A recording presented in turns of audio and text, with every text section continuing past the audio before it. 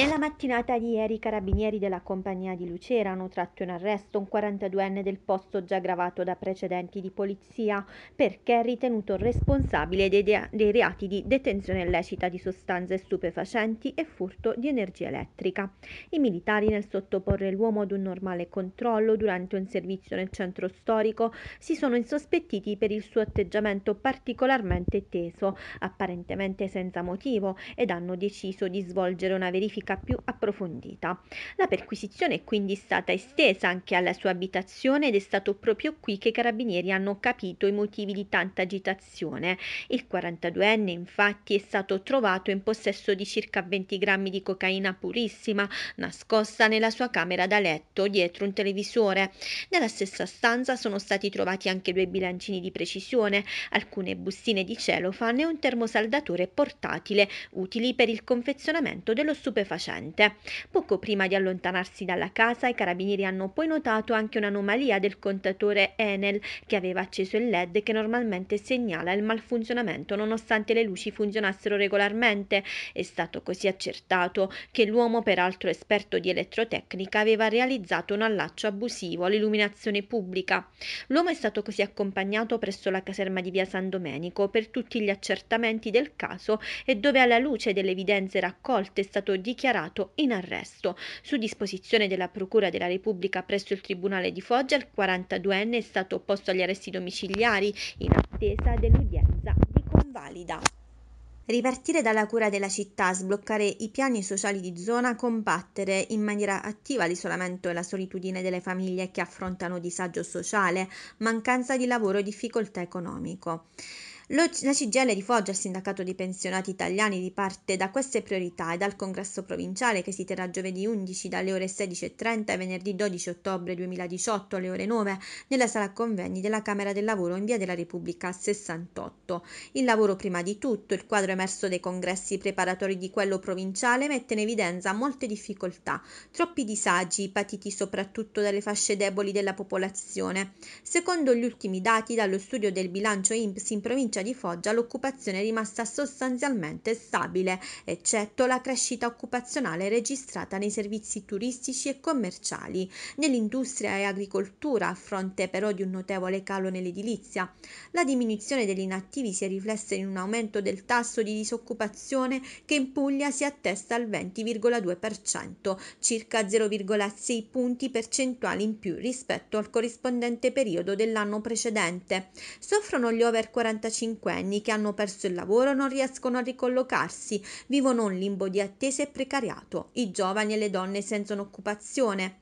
Foggia in sofferenza a cominciare proprio da qui che in troppe realtà urbane ci sono intere zone abbandonate, a incuria e degrado con il permanere di barriere architettoniche e di inciviltà dovuta anche a un traffico veicolare caotico, con parcheggi senza regole, marciapiedi dissestati e pericolosi, dove non c'è cura della città, si aggravano le condizioni di disagio della cittadinanza. Anche per questo la SPCGL ha moltiplicato le iniziative di aggregazione sia con Carosello che con il pullman dei diritti e le tante occasioni di incontro che combattono la solitudine e animano le piazze per restituirle alla gente, alle famiglie, ai bambini e agli anziani che continuano a lottare per una società migliore e per il futuro di figli e nipoti. Il disastro ambientale di Cerignola, con tonnellate di immondizia per strada e poi ammassata all'interporto, è solo la punta di un iceberg. La questione relativa al ciclo dei rifiuti riguarda anche la salute dei cittadini e richiama in modo inquietante anche l'allarme sulla forte incidenza di alcune gravi patologie.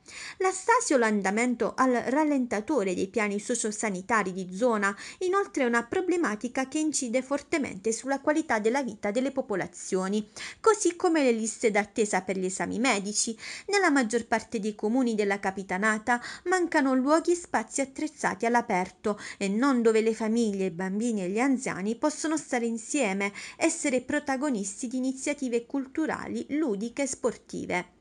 Più di 2.000 persone partecipanti, 22 tra città e paesi della Daunia toccati dalla carovana congressale. 1843 km percorsi in 30 giorni intensi, ricchi di partecipazione. Sono questi numeri che dalla fase preparatoria del congresso provinciale a Foggia a quei numeri che sintetizzano i congressi locali svolti da settembre dal sindacato pensionati. Se ne aggiunge un altro. Saranno 76 i delegati chiamati a votare i documenti che delineano l'otto 7 azioni priorità del sindacato sul lavoro, giovani, pensioni, diritti e stato sociale. I congressi che hanno preparato l'appuntamento più importante, quello del congresso provinciale, si sono svolti a Biccari, Rignano Garganico, Apricena, San Paolo Civitate, Pietramonte Corvino. Sono proseguiti poi a Foggia, Monte Sant'Angelo, Zapponeta, Cagnano, Torre Maggiore e Cerignola. Dopo Casa del Popolo di Giuseppe Di Vittorio i congressi hanno toccato San Nicandro, Lucera, Mattinata, e Ischia Schitella,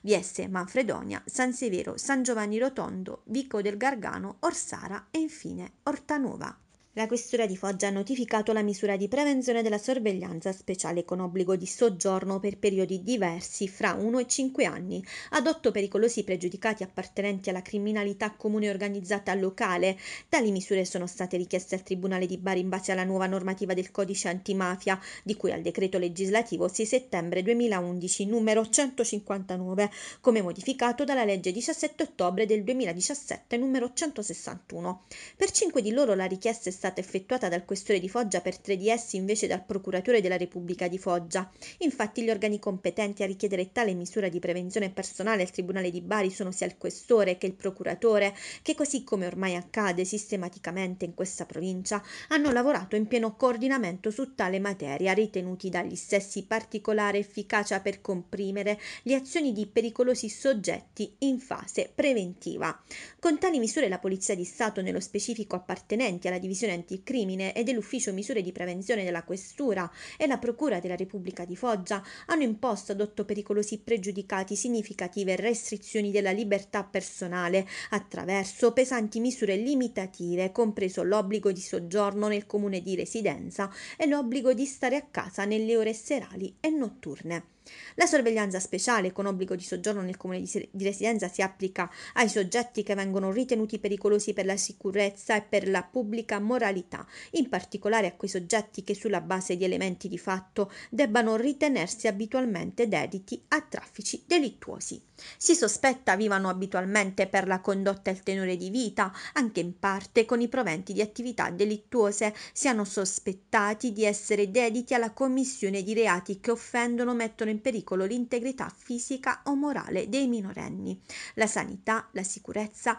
o la tranquillità pubblica. Queste misure rappresentano un altro importante passo in avanti nell'opera di ripristino della legalità nella provincia di Foggia e di restituzione del suo territorio alla collettività, sottoponendo soggetti pericolosi a specifiche forme di controllo e pesanti restrizioni di movimento che, ove violate, comportano l'arresto immediato e la conduzione in carcere. Il ricorso alle misure misure di prevenzione rappresenta inoltre un'altra delle modalità con cui la squadra Stato sta caratterizzando la sua azione sul territorio in piena sinergia e coordinamento fra coloro che la compongono contro ogni forma di illegalità e criminalità comune ed organizzata. Peraltro nei mesi scorsi la Questura di Foggia ha potenziato la struttura operativa dell'Ufficio Misure Prevenzioni Personali e Patrimoniali, ritenendo il ricorso a tali misure di formidabile efficacia nel contrasto della criminalità comune e organizzata locale.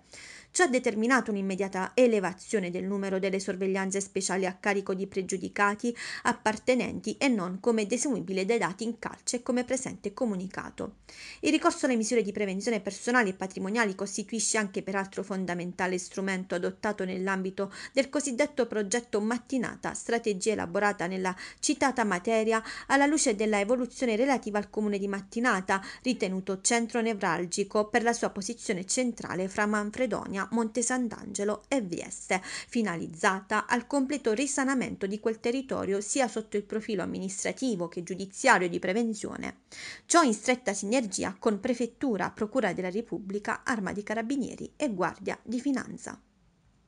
I fatti risalgono allo scorso 11 agosto, quando un uomo pregiudicato, classe 84, del posto già arrestato qualche settimana fa per una brutale aggressione con tanto di coltello ai danni dell'ex compagna, era abusivamente entrato insieme ad altri complici rimasti al momento sconosciuti in un fondo agricolo nelle campagne di San Ferdinando di Puglia, impossessandosi di circa sette quintali di pesche. Il proprietario del fondo, avvisato di quando stava accadendo, aveva immediatamente raggiunto la sua proprietà, sorprendendo tre uomini a fare razzia dei suoi prodotti. I tre, vistisi scoperti, anziché abbandonare tutto e fuggire, si erano avventati contro il malcapitato, minacciandolo anche di morte, riuscendo così a portare via le pesche che erano riusciti a prendere. Le immediate indagini, condotte dai carabinieri della stazione di San Ferdinando di Puglia sotto la direzione del comando della compagnia di Cerignola, avevano permesso di identificare proprio uno dei tre malfattori.